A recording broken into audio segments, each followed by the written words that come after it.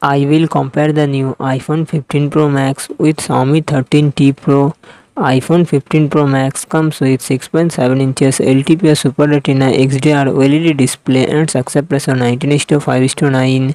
Xiaomi 13T Pro comes with 6.67 inches AMOLED display and success ratio 20:9. iPhone 15 Pro Max run on the iOS 17 operating system. Xiaomi 13T Pro run on the Android 13 operating system. iPhone 15 Pro Max it comes with 8GB RAM and 256GB 512GB 1TB internal storage. Apple A17 Pro processor and Apple graphic GPU.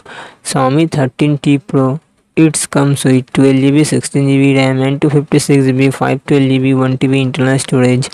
MediaTek Dimensity 9200 Plus processor and GPU G750 iPhone 15 Pro Max real set triple camera setup 48 megapixel plus 12 megapixel plus 12 megapixel and front camera 12 megapixel Xiaomi 13T Pro real set triple camera setup 50 megapixel plus 50 megapixel plus 12 megapixel and front camera 20 megapixel iPhone 15 Pro Max 4422 mAh battery 33 watt fast charging support